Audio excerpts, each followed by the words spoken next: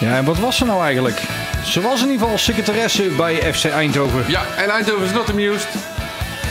Dat is trouwens een lekker ding, of niet, die secretaresse? Of niet? Ik weet het niet. eh. Ik heb ze nog niet Ik heb ze niet- zo Ik heb er al wat foto's van. Doe eens even, Ja, is- doe eens even is- een foto van fceindhoven.nl zo? of zo. eh. Ik eh, ga eens eventjes... Ja, eh, wacht even. eh, oh ja, daar, On- ik- on- die, heb- ondertussen- die hebben jullie te goed voor mij. Ja, die heb ik, nou, komt goed. Ondertussen eh, gaan wij de poll doen, als je het niet erg vindt. Ja, dat mag niet uit. Ik wou zeggen, het is dik kwart voor negen geweest. Dus we gaan lekker inderdaad met de poll beginnen. Ja, eh, de pollvraag eh luidde afgelopen week... eh, naar welke wedstrijd in het nieuwe seizoen kijken het meeste uit?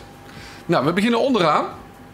Eh, met eh 8% Het zijn twee wedstrijden waar de NAC-sporters ja, die dat niet zo, eh, niet zo populaire wedstrijd vinden. Eh, broodje worst met bier bij de Graafschap. Oh, lekker.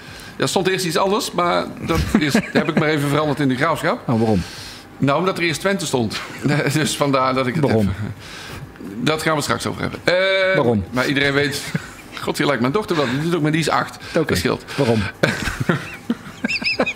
Nee, ga je gang, Marcel. Ja, dus eh 8% eh, ziet dat, eh, die kijkt dat meestal. Ook 8% scoort eh, de bootcombi naar RKC. Vind ik wat weinig, want dat is in september al. Lekker weer, Ik wou zeggen, op die, een bootje. die heeft mijn stem gekregen, hoor. ja, dat, eh, dat snap ik. Dus twee keer 8% van de mensen kijkt daar naar uit. Dan jumpen we naar 9%. Ja, die, dat kan zijn dat die zo laag komt dat niet iedereen het weet, Leon. En welke, welke wedstrijd is dat? Ja, dat is eh, Maxime City FC tegen NAC. Ja, dat is natuurlijk... Nou, Leg even uit, want dat snapt niet iedereen. Ja, ik. Maxime, dat is de, de meest eh, elegante, leuke eh, eh, cateringmedewerker Ja. die we ooit zijn tegengekomen. een Kantinejuffrouw van Ja. Almere City. Almere City, wat is Ja, en nou kantinejuffrouw, kantine stoot. Ik kan me herinneren dat jullie er ooit eens een keer een programma 10 minuten over vol hebben geluld. Dus dan moet ze echt indruk Ik gemaakt heb hebben. gewoon hele wedstrijden gemist. want Ik stond alleen maar bij de catering daar. had Dat is echt, wisten ze dat thuis ook? kijken. af? en het was druk bij die catering, jongen. Ja, dat dat wil je niet best. weten. De worsten waren niet aan te spreken. Kun je, kun je even aan het telefoonnummer komen? Kunnen we het alvast een keer bellen? Nou, Leon wat, heeft ik eh, Twitter contact met Maxime. Behoorlijk wat. Twitter-contact gehad, ja. Oké. Ja.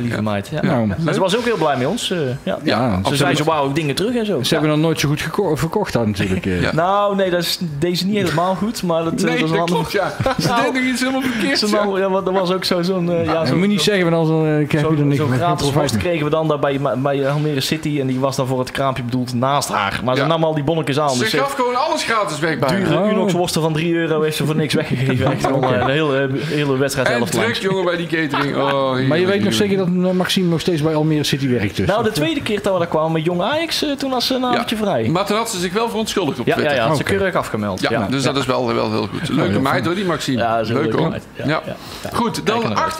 18% kijkt uit naar, eh, ik eigenlijk ook wel, de wedstrijd met carnaval eh, thuis tegen Volendam. Dat is leuk. Dit is fantastisch? Zullen we allemaal als Volendam sporten verkleed gaan? daar heb ik Dat op gestemd, ja. ja. Allemaal van die wijde Ja, palingbroeken als je je aan. paling maar thuis laat.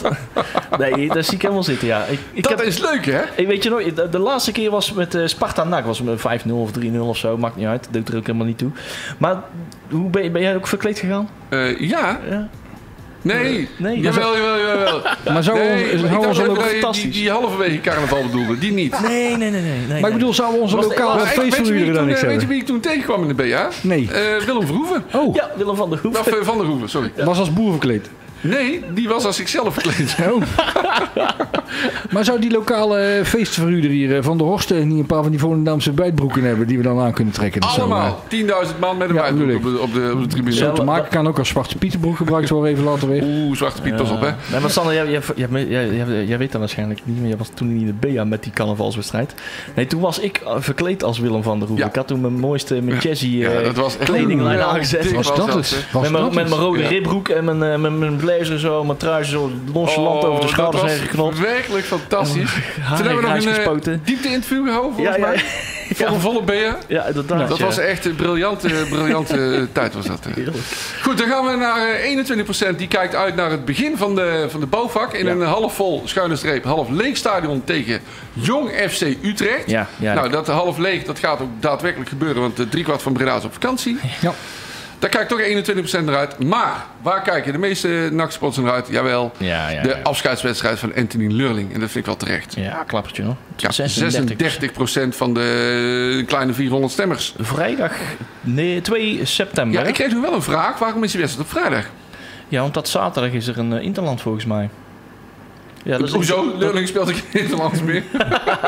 Nee, maar waarschijnlijk zullen er een hoop eh, spelers op uitnodiging komen die dan op zaterdag ook weer moeten pronken op de, Oh, de Ja, Jongens, tribune. jongens, mensen kijken van, oh, gaan we, naar, gaan we naar Anthony of gaan we Maar gaan tv wel, kijken? we gaan wel naar? Leurling toe, want dat, is wel, dat verdient hij wel. Nou, maar ik denk, kijk, er zijn toch heel veel mensen die, die in, de, in het begin van de WK-kwalificatie geïnteresseerd zijn in hoe het Nederlands elftal het gaat doen. En dat scheelt natuurlijk een hoop toeschouwers op vrijdagavond. eh. Ja, dat is misschien wel zo. Hey, gaat eh, Leurling dan ook nog even de B in? Komt hij dan nog even? Dat is ook Vast. wel van wel, ja.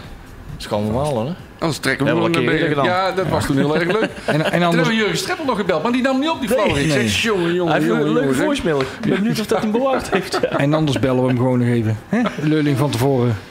Dan nodigen we hem gewoon uit. Mooi. Gaan we, wat gaan we doen, jongens? Ja, ik denk dat we Een gelijk... handdoek pakken. we gaan- Het zweet me kapot. we- Ja, ik, Leon, waar ben je? Oh, dames en jullie- heren, als u Leon kwijt bent, die is even weggezwommen in zijn eigen zweet. Dus, eh, Aangezien het acht minuten voor negen is, gaan we gelijk door. Nakpraat, grabbelton nieuws. ja, hier volgt een eh, mededeling. Let op, daar komt hij. Os wordt Eindhoven. Almere wordt Emmen. Eindhoven wordt Os. En Emmen wordt Almere. Stop de tijd. Ja, dit waren de codeberichten. U zoekt het maar uit. Nee, dat zijn de wijzigingen in het competitieprogramma. Dit was Radio Oranje. Goedemorgen. Goed zo. Ja, dus eh, er is wat gehusseld. Eh, waarom zou ze dat gedaan hebben, Leon? Geen idee. Is Ik, dat... eh, eh, de- in ieder geval Twente, het is natuurlijk de graafschap eh ja, geworden. Dat, is, dat is logisch. Dat is logisch. Zou dat trouwens nog steeds zeker zijn? Nee, dat is- Ja, en, die, weet- en die gaan ook gelijk van zondag Hey, naar de maar vrijdag. De, de laatste wedstrijd is nu op vrijdag 5 mei Emmen-NAC. Worden we daar kampioen, Alexander? Zou dat een Ja, Of heb jij liever... eh, nee, ik zeg het verkeerd. Vrijdag 5 mei Almere. Almere en Sorry, dat is de laatste. Dan Almere- kunnen we tussen de graanvelden eh, staan, Ja, toch? Kunnen we dus tegen een mais Tegen de maisvelden. aanplassen. Ja, bedoel ik. Of uit bij Emmen op vrijdag 21 april. Zo. Of thuis tegen Os, vrijdag 28 mei. Thuis april. tegen Os, April. dat zou wel, April. eh, Op zich is het Ja, wel thuis- lekker dat je op vrijdag kampioen wordt. Dan kun je Nou, heel, heel het weekend Ik doorfeesten. denk dat het voor onze nieuwe secretaresse leuk is om kampioen te worden op maandag 17 april thuis tegen Eindhoven. Ja. ja. En dan een Koefo als, eh, hoe heet die, of een Tofo als, eh, als gast uitnodigen van Cambuur. Omdat hij als laatste is geëindigd in de, in de Jupe. Goed. Jongen, jongen. Oh ja, dan moet ik weer aan de gang. hè. Het is eh, moeilijk allemaal. Nakpraat, grabbelton nieuws. Ja, Leon zei het al, Twente